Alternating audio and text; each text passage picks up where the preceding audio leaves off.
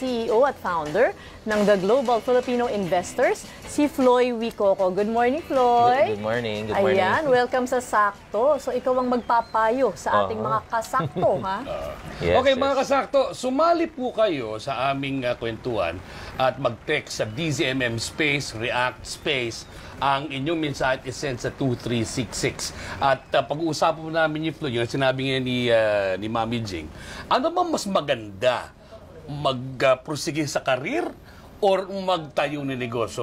Floyd, uh, unang tanong ko, no, uh, just to get the discussion going, anong edad ka ba dapat nag-i-end ng karir at nagsisimula ng negosyo? Okay. okay. So, napakagandang topic for today natin. Ang sa akin kasi, ano siya eh, depende siya sa situation mo eh. For example, ikaw ay fresh graduate, tapos na, tapos ka, ang course mo is in relation to entrepreneurship. So, dapat lang, by the time na graduate ka, negosyo ka na kagad, di ba? Pero of course, halimbawa naman, ikaw ay isang breadwinner, pagod na pagod ka nakakatrabaho sa traffic, napakahirap na ng ng schedule. Kasi nga wala na naubusan ng oras dahil sa traffic, no? And the one time you realize sige, pasukin ko na ng negosyo para magkaroon ako ng, ng time freedom. So it's more of ano eh, case-to-case basis. Depende siya sa sitwasyon mo rin. Kung kailan mo dapat pasukin ng pagnenegosyo or pipiliin mo ba career muna. Kasi yun nga, tama nga kayo, no? Ang daming advantages and disadvantage kung mag-go ka for business or mag-go ka sa um, pagiging ah, empleyado. Kumbaga sabi nga nila eh, may, there's such a thing as timing.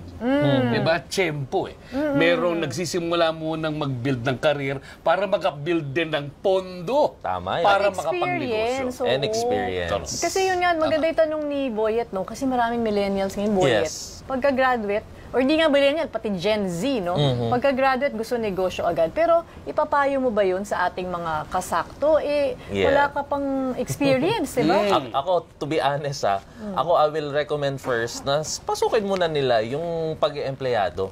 Kasi they, tama, they get to have an experience first. Una, dila, kailangan nila malaman paano ba yung tamang pag-handle ng isang ah, kliyente.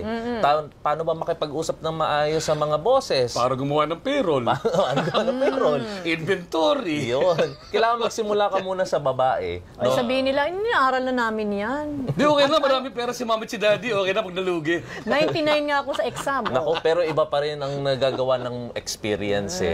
So ako talaga, go for ano muna, go for employment muna. Kahit na hindi ganun kalaki yung kitain. Kasi what you will go after, or yung ihahabulin mo kasi doon, yung experience, yung matututunan mo. So that pagka nag-jump ka na sa pagnenegosante, alam mo na may na- na- nakuha ka ng proseso. Ah, ganito yung ginagawa sa dati kong kumpanya. Effective, hindi effective, gagawin ko sa business ko Hanggang to. kailan nga? Yun nga tinatanong ni Boyet, no? Kailan yung timing, di ba? Timing Ayan. is everything. Hanggang kailan ako ang kailan ka mag-jump for business, siguro gawin mo to muna, no? So, let's say nasa pag-employment ka na, and then gagawin mo on the side yung pagbi-business. Maraming ganyan. Sabay mo. Yes, sabay mo. gawin mo pag weekend, gawin mo pag after work. Yeah. Tapos halimbawa, kumikita na yung business mo, napapantayan na yung kinikita mo sa sinisweldo mo or higit pa, and then that's the time pwede ka na mag-jump fully sa pagnenegosyo. So pag ganun, eksakto pwede na. Yes, oo, pwede na. Kasi nga, um, kumbaga, mawawalan ka kasi ng income for some time kasi pag nag- nag-business ka, you don't expect nakikita ka kagad eh. Okay. No? So, if napapantayan na nga ng business mo yung kinikita mo sa sa pagtatrabaho, then pwede, pwede na muna siyang i-jump. Kasi nga, again, pag nag-go ka sa business, napakadami niyang consequences din.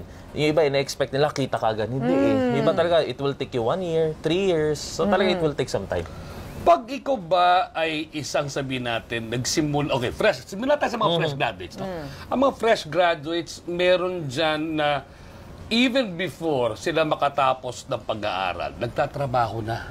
Di ba? Meron dyan working, Working student. students, di ba? oo. Mga Working student. Meron naman iba dyan na nabigyan ng pondo ng magulang. Dahil medyo may kaya yung pamilya. Meron naman dyan talagang ah, nag-ipon muna ng pera bago sumabak sa negosyo. Okay, ang tanong ngayon, in 20 in the year 2019 and beyond. Okay. Ano bang mga negosyo talaga Mm, ang dapat yun, ah. pinapasok ng mga kabataan kung sakaling sasabak sila sa negosyo? Actually, hindi lang negosyo but also pwede rin to sa pag-employment. Yan, bawa online freelancing. Yeah. no? So, Sige.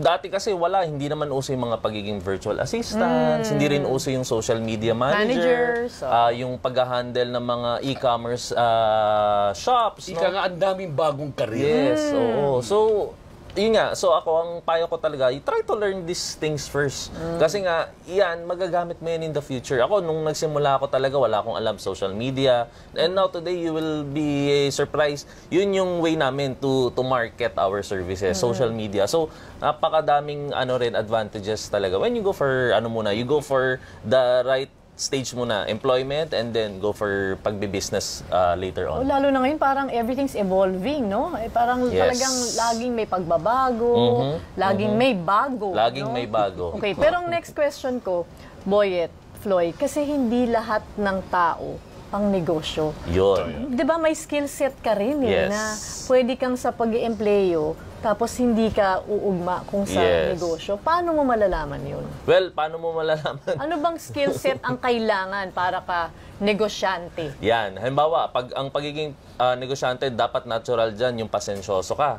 Kasi unang-una, napakadami mo makukuhang ah, rejections from the start. Lalo na kamag-anak mo, kaibigan mo. You will expect mabebentahan mo sila or mabibigyan mo sila ng serbisyo na ginagawa mo sa business mo. Yung pala, eventually, eh hindi. No, sila kagad yung una magnuno sa'yo. Kailangan nandun yung patience mo. Matibay ang dibdib. Matibay yung dibdib. Kailangan yung tipong kahit iyak na iyak ka na, hindi mo ilalabas sa mga tao mo na hirap na hirap na ako. Kasi you should be the last person to believe na your business will work out. Ikaw dapat yon First and last.